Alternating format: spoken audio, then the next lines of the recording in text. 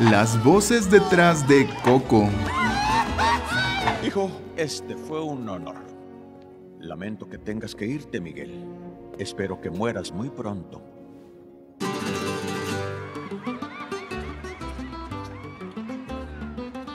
Toca. Para mí, sí. Aleja tu cara insoportable. Quiero mi fémur, tú. Si la quieres, tienes que ganártela. No queríamos decirte que eres adoptado. Y, y- y de pronto estás trabajando todos los días el solo por hoy, hasta que pasan 14 años. Es muy emocionante. Mi amada y preciosa guitarra. Conoces mi favorita, Héctor. Igual que prometiste devolver mi camioneta, o mi minibar, o mis servilletas, mi lazo, mi fémur. Porque no sabías ni podías asegurar, menos preguntar. Oigan, les hablo para preguntar si vamos a hacer nosotros. Desaparezco, Héctor. Ya lo puedo sentir. Aunque quisiera, no podría tocar otra vez esa cosa. Ah. Me mueve mis recuerdos. ¿Estás aquí? ¿Aquí, aquí? ¿Y puedes vernos? Bueno, eh, es que nunca llegamos a la ofrenda. No le debo nada a la posteridad, porque la posteridad no ha hecho nada por mí. Hay que decirle a mamá Imelda. Ella lo resolverá. Eh, ya que lo pregunta, pues algo. Porque tú ya tienes un personaje que eres Woody Allen, genialmente. Gran personaje. Sonó el teléfono y era mi agente y me dijo, Woody dice que va a hacer tu película. Hola, Miguel. Entonces iremos con ella. Vámonos. Antes nos encontramos a... a- ¿Cómo estás, Julio? Papá, papá regresó al fin. ¿Quién eres tú? Papá ya vino. Uno nunca consigue absolutamente nada en esta vida. ¿Qué consigue uno? Pero ¿qué es el reconocimiento? Es un ratito, como dicen.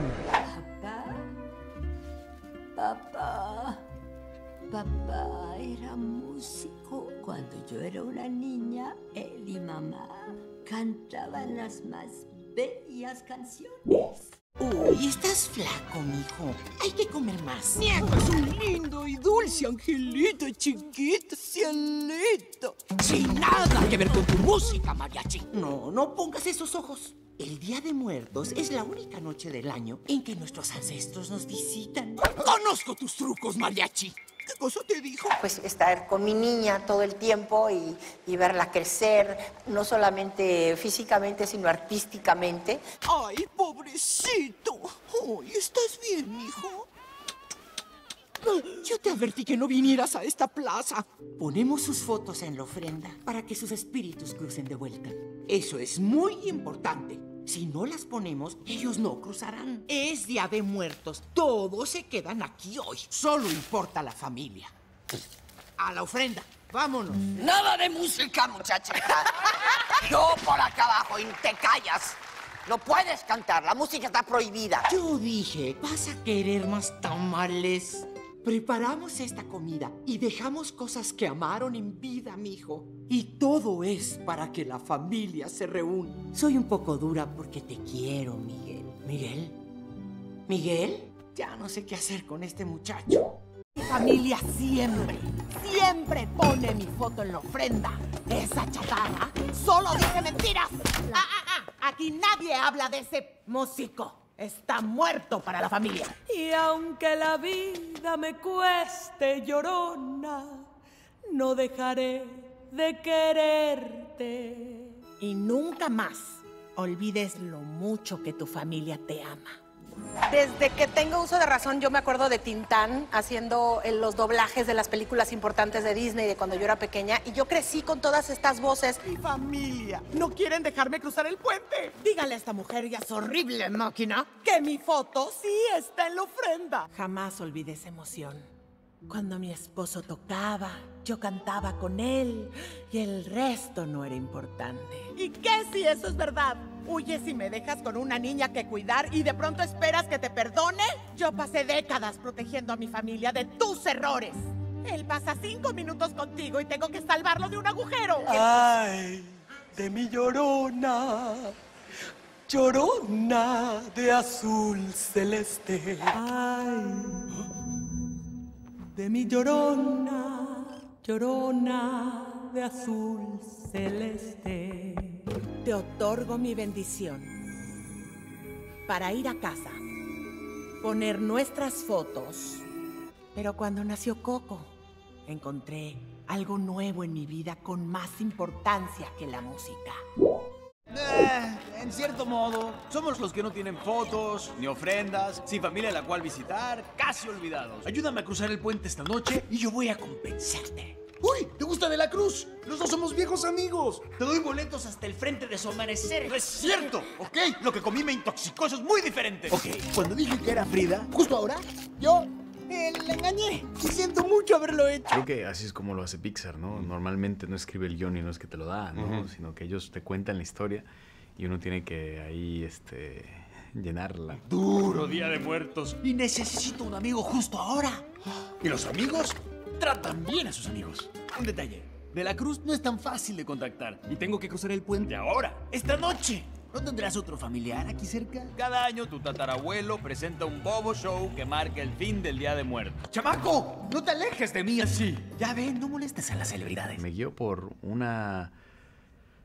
por una intención, por una especie de, de apuesta, este, de, de acto de fe. Si no queda nadie que te recuerde en el mundo de los vivos, desapareces de este mundo. Le dicen la muerte final. ¡Mis canciones te volvieron famoso! ¿Qué? Si me estás olvidando, es porque tú jamás le dijiste a nadie que yo las escribí. En este mundo, los recuerdos mueven todo. Si te recuerdan muy bien, siempre ponen tu foto y te dejan cruzar el puente y visitar a los vivos el Día de Muertos.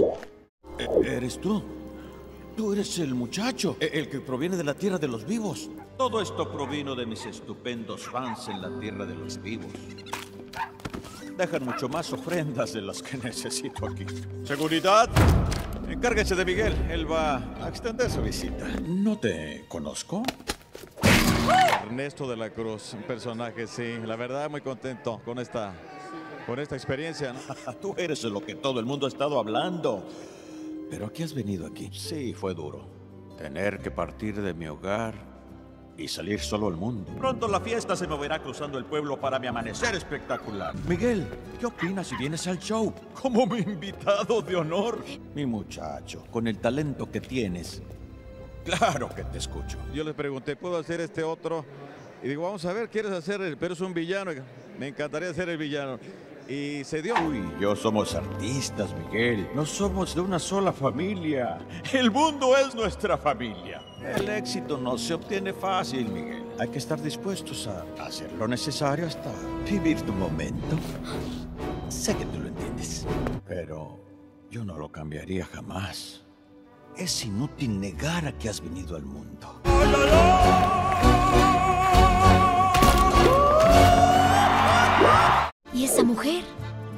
Era mi tatarabuela, Mamá Imelda. Murió mucho antes de que yo naciera. ¡Héctor! La foto, eh, no la tengo. Siempre hubo algo que me volvía diferente. Y no sabía de dónde venía. Pero ahora lo sé. Esto viene de ti. Pero mi familia aún cuenta su historia cada año en el Día de los Muertos. Pero pues muy contento de también otras cosas nuevas que me están pasando, de viajar, de ir Conocer, a- ajá, de ¿no? conocer otros Claro. países y cosas así. Me siento súper contenta. Y su hijita es mi bisabuela, Mamá Coco. Hola, Mamá Coco. No quiero que me hagan elegir. ¿Por qué no me apoyas tú? Eso es lo que hacen las familias. Apoyarse. Es mi mamá Coco. Ella, mi mamá Imelda. ¿Eres tú? Nunca en mi vida había hecho casting para un doblaje de voz. Era la primera vez y la verdad no sabía ni qué. De hecho, hasta me puse a investigar en YouTube a ver cómo se hacía eso. Prometo, no dejaré que Coco te olvide. Por favor, si lo olvidas, desaparecerá para siempre. No, no, no te vayas. Te prometí que pondría tu foto en la ofrenda. Te prometí que verías a Coco. Gracias.